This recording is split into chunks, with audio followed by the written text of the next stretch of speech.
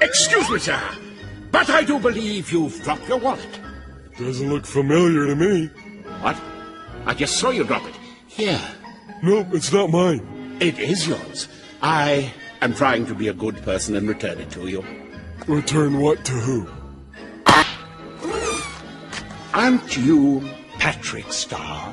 Yep, And this is your ID. yep.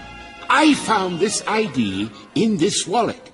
And if that's the case, this must be your wallet. That makes sense to me. Then take it. It's not my wallet.